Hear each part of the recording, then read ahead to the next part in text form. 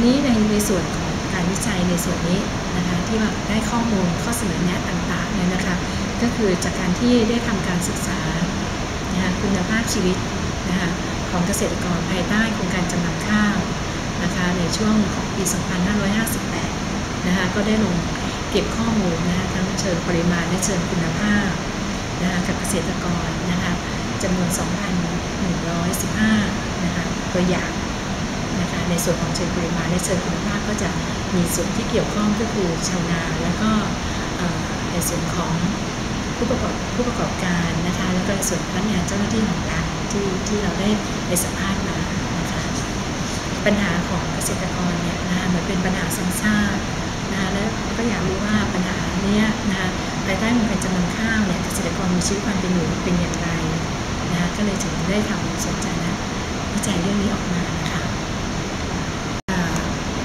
ราคาราคาขายใช่ไหมคะราคาขายหรือว่าราคาที่รัฐเนี่ยนะคะจะช่วยเหลือหรือว่าประกัน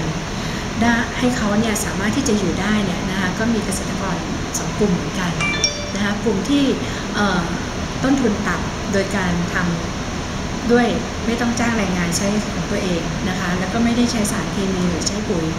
นะคะแล้วก็มีที่ดินที่เป็นทรัพย์สินของตัวเองนะคะเป็นต้นทุนการผลิตตรงนี้ตัวนี้นะคะ ราคาขายที่สามารถที่เขาอยู่ได้เนี่ย6,000ถึง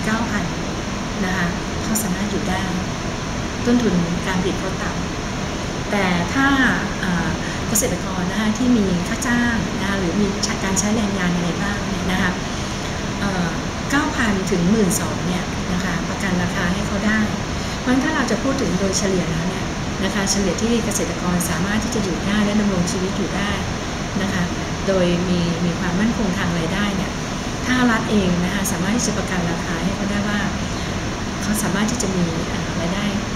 จากการผลิตข้าวเนี่ยนะคะอย่างขั้นต่ำ9,000นะคะ9,000ต่อตันเนี่ยก็โอเค